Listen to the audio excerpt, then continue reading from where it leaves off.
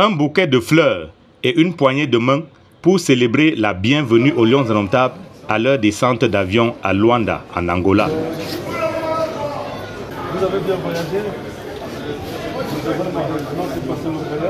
26 joueurs ont effectué le déplacement de Luanda. Ils vont défier les Palancas Negras ce mardi au stade du 11 novembre de Luanda, en Angola. Après l'accueil à l'aéroport, les Lions se sont très vite mis à l'ouvrage.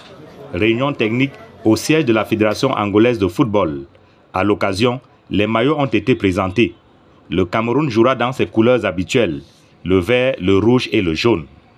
Initialement prévue à 10 h la séance d'aérobie et d'anaérobie s'est finalement déroulée à 12 h à l'hôtel Victoria Garden, camp de base des Lions en Angola.